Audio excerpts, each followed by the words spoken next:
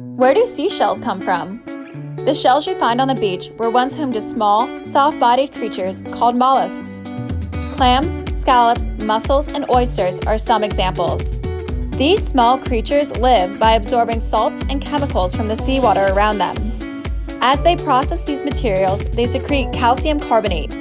This chemical solidifies outside of their body and gradually forms a hard outer shell. The shell is attached to the creature, but is not part of its living body. When the mollusk dies, it leaves its shell behind for you to find along the seashore.